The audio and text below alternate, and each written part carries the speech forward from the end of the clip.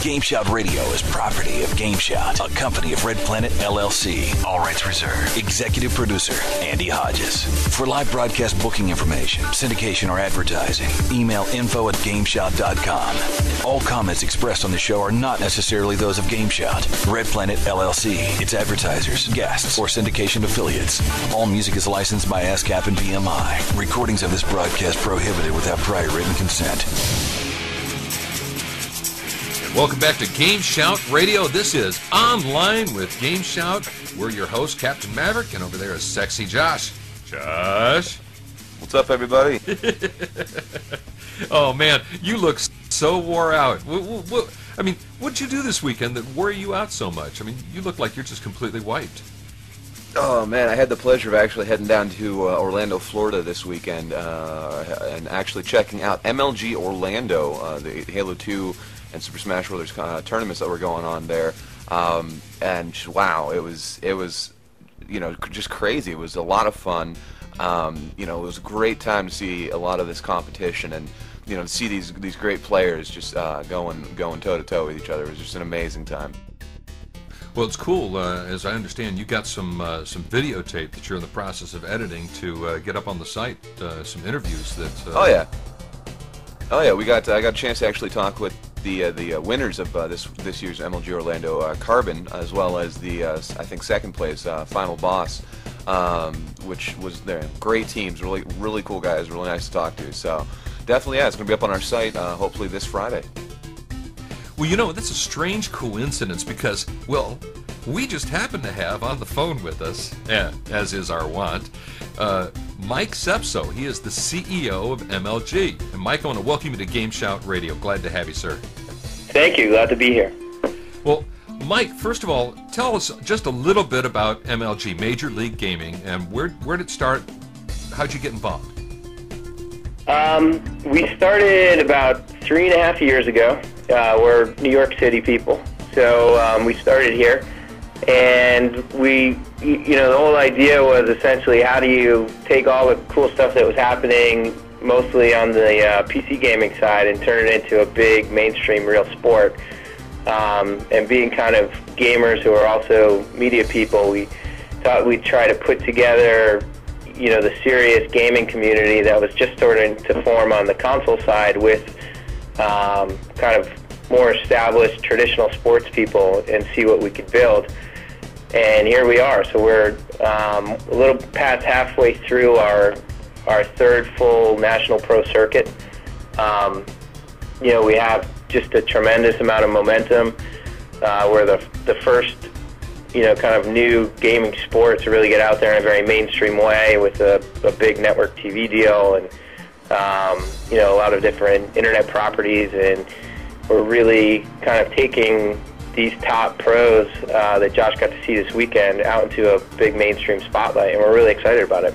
So basically, Major League Gaming is turning in uh, turning video gaming into a competitive sport and yeah, making a more professional type atmosphere. Yeah, I mean, I, I think you know if you look at kind of any sport, which is what we did at the very beginning, its development, whether it's a traditional stick and ball sport or uh, something a little more modern and, and different, like NASCAR racing or uh, action sports, they tend to follow a really similar path. And uh, competitive gaming certainly followed the same path. You know, it starts out with a bunch of people who are just really into it, um, and then a few kind of organizations start up to, to organize and create a platform for them to compete in, and then it starts to build into a bigger media snowball and at some point it becomes kind of a, a mainstream activity, and that's how we tracked our progress as MLG. I mean, we certainly didn't invent competitive gaming. We came in and, and kind of created the premier platform for the best gamers to play under. Um, you know, I think the other thing that's different about us from a lot of the competitive gaming world is we we stayed away from the PC world, um, the PC gaming world, just for a couple of reasons. Primarily, one, primarily because it's much more niche kind of activity in console gaming. Uh, now it's its capability for all three platforms to, to play online. It's just a, a powerhouse mainstream activity. You know, just like every kid's got a, uh, you know, every kid in America basically has a basketball or a baseball. Everybody's got an Xbox or a PlayStation or a GameCube. So um, we're kind of leveraging that wide audience and, and this huge activity and taking the best of the best and giving them a, a serious professional sports-oriented platform for them to compete in. That's excellent. But are are you uh, adding more PC gaming now? I mean, is that becoming part of the, uh, or, is, or is the equation still strictly console? No, it's still strictly console. I mean, we're, um, you know, we're we we certainly have a great deal of respect and a lot of interest in the PC gaming world. Um, although I think that that uh, you know it'll probably be something that if we get involved in, will be primarily online um, and not necessarily in the kind of at the forefront of the, the mainstream pro circuit, uh, which is going to will probably forever be console until the thing that happens after console, whatever that is. Yeah, exactly complete entertainment systems. Yeah, some yeah. kind of you know Tron world or something. I don't know. yeah. now you know, the, comparing the, the sports to uh, you know to the gaming. Um, do you, do you think that there's a, you know that this definitely opens up to more people to be able to get into this than you know say you know you don't make a team in football but you know does this do you think this opens up to more possibilities and players um, to be able to compete professionally than they would, in, uh, you know, in something else? Yeah, I think it's it's certainly more accessible, right? Um, because you can you can literally get involved from home. I mean, you can go to the MLGPro.com site and get involved with the community. Um, we've run a lot of online kind of feeder tournaments before, and we're about to do that in a very big way. Um, toward the end of September. Um, so we're really trying to allow anybody who has, you know, who has essentially a broadband connection and a console at home to get involved with MLG as a sport.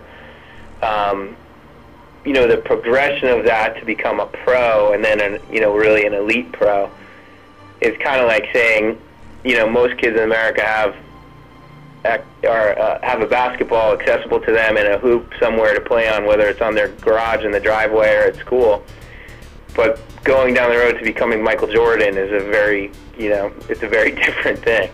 And I think that that's the same model. I mean, we we really have a lot of very traditional sports people involved with building this league.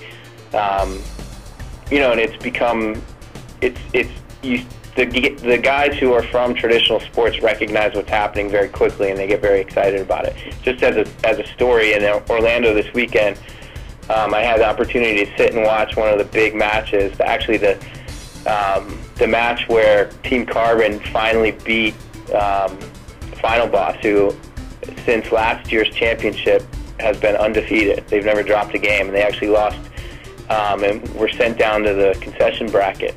And I watched that game with Otis Smith, who's a former professional NBA player and currently the GM of the Orlando Magic.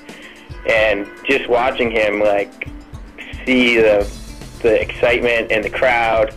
You know, these guys who obviously take this incredibly seriously, practice very hard, and who are the best of the best at what they do, really battle it out. I mean, he he immediately saw this is this is a very early but very strong pro sport, and it's got a lot of momentum behind it. And he was just psyched. It was really cool.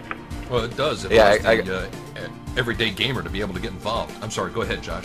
I was gonna say I, I have to agree. I, watching that that final uh, that final game between Final Boss and and Carbon, uh, or any of the games for that matter, just the you know every time there was a, a, a Killtacular or you know somebody pulled off a great a great move or um, you know it was oddball and somebody got you know got uh, meleeed with the skull the crowd was just you know ecstatic. They were they were up in up in the air, cheering and screaming. It was it was a really amazing thing to see. It's not you know anybody out there who whoever gets a chance of you know to go to an MLG competition, I, I highly suggest it because um, it's like it's one of the coolest things to see. Yeah, I think the other side, and this is sort of on the same topic of getting every regular gamer involved in MLG and what we're doing you know, the, we have seven pro circuit events this season. Each one of them is a one-hour episode on USA, starting in November. And um, you know, one of the things is, as Josh can tell you, you know, the, the crowd. There's a few hundred people watching these matches in the in the main arena on the main stage. That whole thing is being taped for television. Um, the difference between that crowd and, and people watching TV at home, obviously, is those guys are, you know, big Halo players, big Smash Brothers players, so they know what's going on. What we've done to kind of communicate what we do as a sport to a more mainstream audience, even a non-gaming audience, um, is really kind of translated what happens in our competitions into a, a regular, you know, sports type atmosphere, and done a lot of educating. So when you see, for instance, you know, a great Halo 2 game, you'll see it with with regular sports play-by-play commentary, with uh, color commentary, with a really sophisticated graphics package that wraps around the screen that explains sort of what's going on on the whole map at the time, how the teams are executing different strategies, who's doing well, you know, who's dead and respawning and where they're respawning and, and what's happening. So I think that we'll be able to take the next step with the TV series on USA. So, yeah, tell me, tell me about the uh, the TV deal.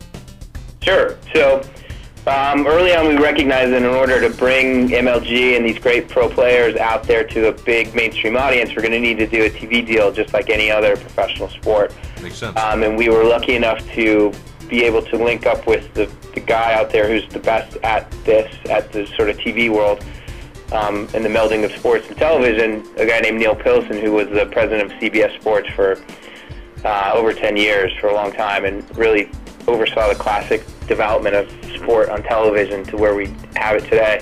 He does all of the TV deals for everything from NASCAR to the Olympics, the World Series of Poker. So uh, he's the best of the best out there. And he worked with us on this, and we went to see all the usual suspects in the TV world. And um, we originally went to the to the NBC Sports people, which are it's essentially NBC and USA are, are linked, and their sports divisions work together on everything from the Olympics to the U.S. Open, which they're broadcasting now. Um, and we just felt really at home there, and, and they understood our vision, and they didn't want to be intrusive at all. They wanted us to just go do our thing, um, and they helped us in putting together a, a really unbelievable team of television production people from the, the traditional sports world. So our executive producer, Rob Dustin, is a guy who's produced uh, four Olympics. He's won three Emmys for sports production. He's just a, a monster in that world and bringing those guys together with our you know with our league operations officials and and really hardcore pro gamers has just been a really very interesting and educational experience for everybody. And I think we're coming out of this with an unbelievably uh, entertaining and really cool product that is going to be um, incredibly exciting, obviously, for all of us in the competitive gaming world who have waited so long for this to happen. But also, I think it's going to reach a huge audience of people who aren't even necessarily gamers. Well, it's also going to reach a huge audience of gamers, and I'm telling you, this is a yeah, absolutely. I mean, I, you know.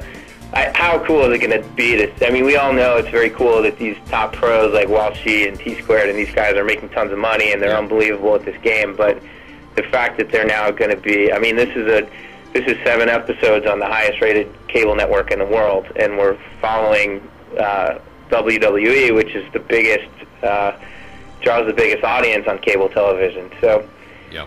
you know, we're going to be a lot of people who haven't experienced this before are going to see it, but hopefully also, you know, every serious gamer in the world is going to tune in at Saturday morning at 10 a.m. on USA on November 11th and watch this go down. That's November 11th, Saturday morning, 10 a.m. Got it now here's my question: Do you, do you do you think that an hour is going to be enough? I mean, you know, just being there, the amount of what good goes on, um, you know, it almost seems like you're going to need more than an hour. oh, absolutely. But I mean, the cool thing is, look, you you know, TV is TV. We can't NASCAR race. It gets tiring after a little while in the TV format, right?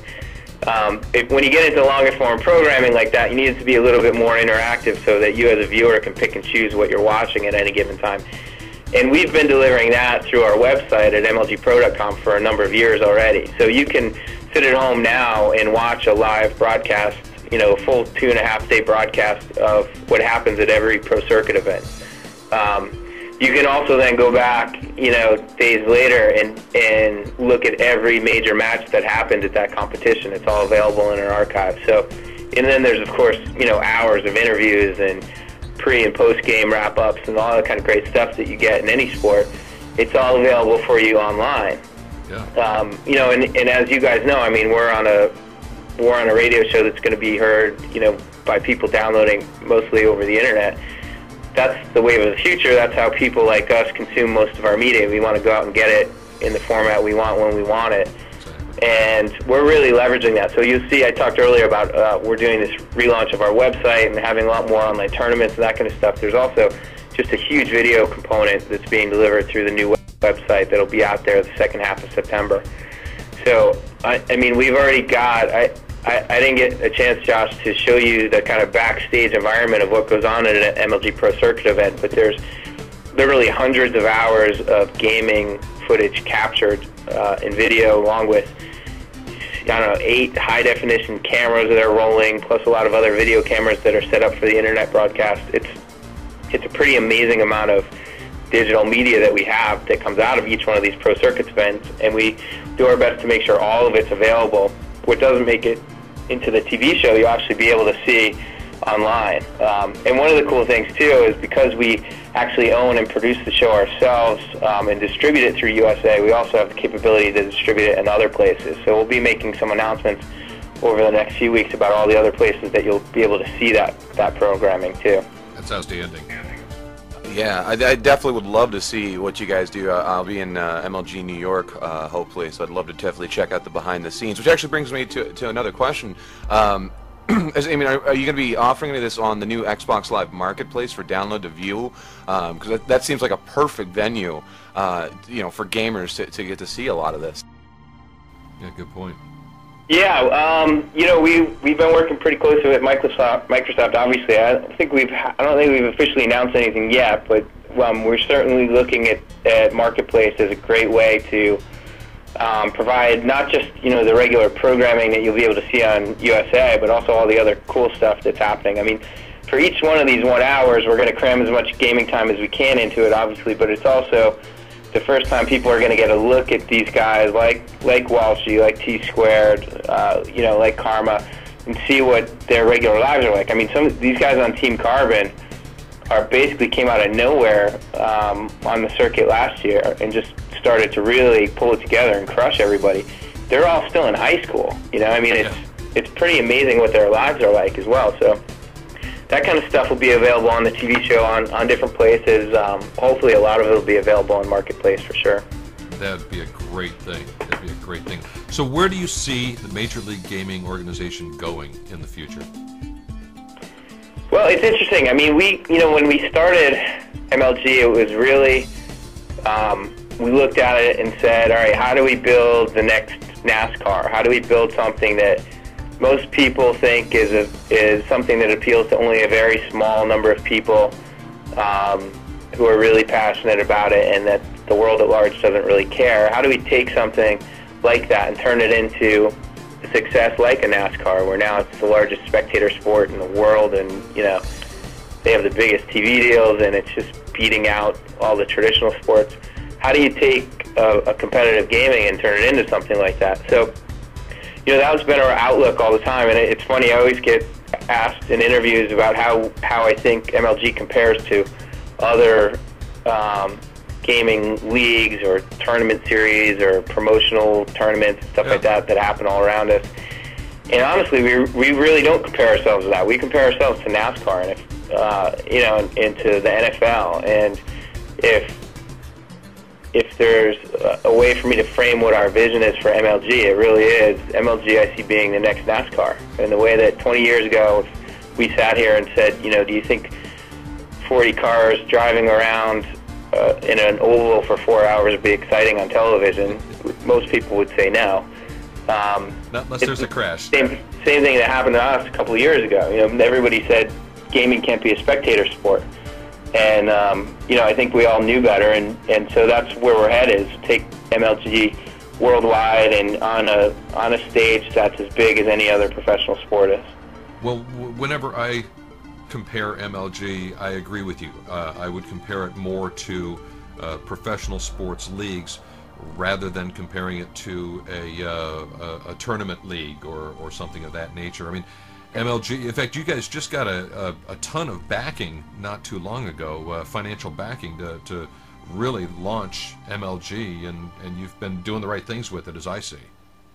Yeah, thanks. And we did um, earlier this year. We raised uh, ten million dollars actually, which is right. what what we felt would would get us through kind of phase two. You know, if phase one was really build a, a credible sanctioning body that could be recognized worldwide and um, create the premier platform for all the best professional gamers in the world to compete in, um, and really do that sort of community-driven effort to make get everybody together in the same boat and, and build something real and authentic. Um, we, you know, it was important that we did that first without much outside influence, and we we felt that we accomplished that certainly by having two full um, pro circuits in, completely independently on our own. Um, and then the you know raising money just like a traditional startup company would, um, albeit you know it was a pretty big amount of money for a first um, outside investment. We just felt that that's you know we're we're dealing in a world where there's media all over the place and new things are happening all the time and and it it, it's still it's enough money that we're able to really control our own destiny. We don't have to sell away the rights to MLG for anything. We really invest in owning and shaping everything that we're doing. Um, you know, to the extent, like I said earlier, that we've got a huge cable network deal, and you know these are these are the people that have been producing the Olympics for the past 20 years. They don't get in our hair about this stuff. They, they know they trust us to do what we want to do, and we have the financial capability now to afford to be able to do that. So it's really kind of you know sort of all the best things are happening, and and we're really excited about it. It's all finally starting to come together. Yeah, absolutely. I mean, it's it's really gelled. Um, from here on out, it's just it's all about you know how big of an audience can we get to watch the best pro gamers in the world compete against each other, and we're going to do that on TV. Obviously, we're going to do it in a big way online. We're also going to do it with our partner Boost Mobile through their, you know, they're over 3 million subscribers, so they'll be able to get all different kinds of video and graphics and text and everything like that through their cell phones. So we're going to try to be everywhere uh, at every part of the day that people who are into MLG and into competitive gaming are. That's awesome. So now here's here's my question. I, I've uh, you know having been there all weekend in Orlando, watching everybody play Halo 2. Um, you know, walking away from this, I was really jonesing just to play some Halo 2 after watching everybody. I, you know, do, do you yourself play games uh, or find yourself really wanting to jump in if you do? Absolutely, yeah. I mean, I I shy away from playing during a pro circuit event because I don't want to you don't want to take that big of a confidence hit. Uh, it's difficult for me to be in a room where there's you know 2,000 people who are so much so far ahead of me in, in kind of skill level. But uh, yeah, I mean, look, that's why we started this company. I mean, I you know I had a pretty successful career going, and I was I was happy with what I was doing. But I'm I'm an entrepreneur, and I, it was a great opportunity for for me to mix two things that I really love. You know, one being growing growing new interesting businesses, and the other being gaming. I mean, I'm a I'm a really competitive person, and I don't you know I'm one of those people that that uh, unwraps Halo 2 on the day that it comes out, and I pop it in my Xbox, and I, I never even see the campaign mode for months. You know, I'm right there playing somebody sitting next to me right away, and I think that um, I think a lot of people in the gaming industry are taking notice that that's what people like to do with gaming. It's a really social, competitive aspect of their lives. And that's what we've been trying to leverage. And I think that's what you got. You know, you see all these people competing and playing against each other, and you want to go take on some people and play. Um, and it's yeah, I mean, I we we get to play in the office every once in a while. Unfortunately, I I get my butt handed to me by most of our staff, but I still play. well, well, games. um, I'm a I'm a big first person shooter. All right. I, I play a little sports games, a little racing every once in a while, but um, you know, I'm really I'm really a I'm really a shooter guy. Hey, us FS or FPS has got to stick together. You know what I'm saying? yeah, I'm with you, man. That's right. Yeah, I play. You know, I probably play more Halo than any Halo One and Two still, actually, than any than any other game. But certainly, anytime there's a new uh, Ghost Recon or a Tom Clancy out, I'm on that too. Very cool. Now with uh, Halo 3 uh, somewhere around the corner, um, uh, are you guys planning to incorporate that one and, and dropping Halo 2 or keep playing Halo 2? uh, and incorporate both, or you know, do you, have you guys even thought that far ahead um, as, as to how that's going to affect the uh, tournaments? Um, well, the good thing about what we're doing is that we are, um, you know, certainly the Xbox has been the, the platform that's been the driver for us because that's where the game's been. That's really driven the community forward. Um, but we don't we don't really go out and hand pick a game and then put it on the circuit and then tell everybody that's what they have to play. It's really the community that drives what games make it onto the pro circuit.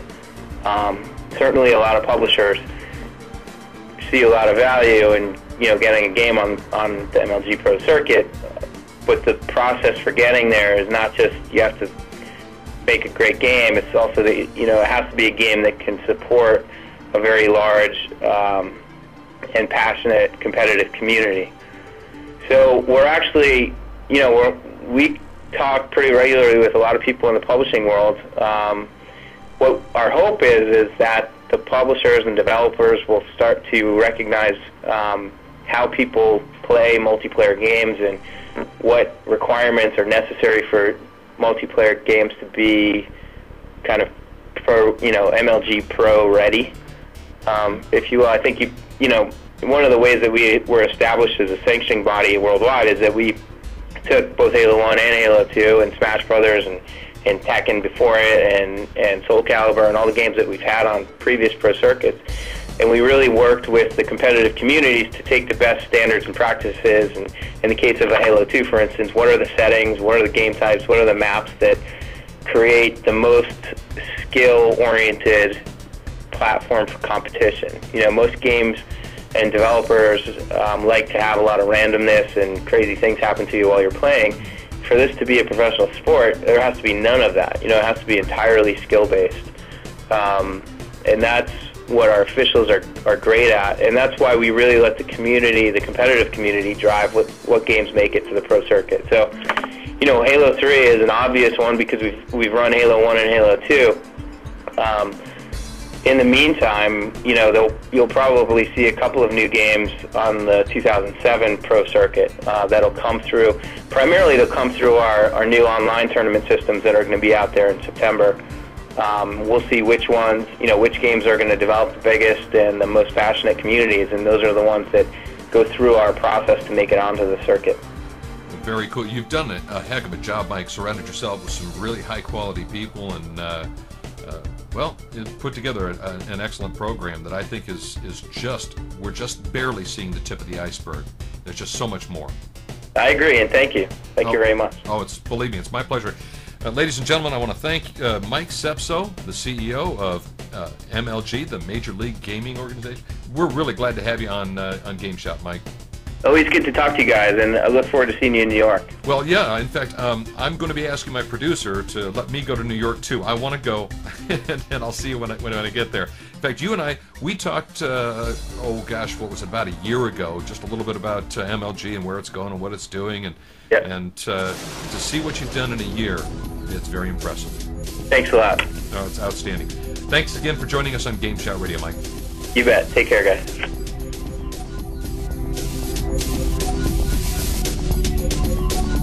This is Game Shout Radio, the number one talk game station in the world. Visit GameShout.com for more info. Game Shout. Game Shout.